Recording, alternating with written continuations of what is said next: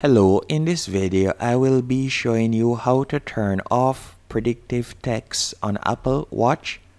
The first thing you need to do is go into settings on your iPhone and you are going to scroll down a bit and you are going to tap on general. After selecting general you are going to select keyboard and from here you are going to see predictive you are going to simply toggle it off and that's it because most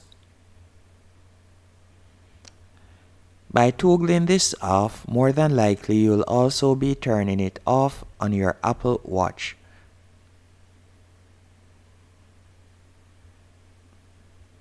By toggling it off on your iPhone, more than likely you'll be turning it off on your Apple Watch as there is no settings at the moment on Apple Watch to turn off predictive text.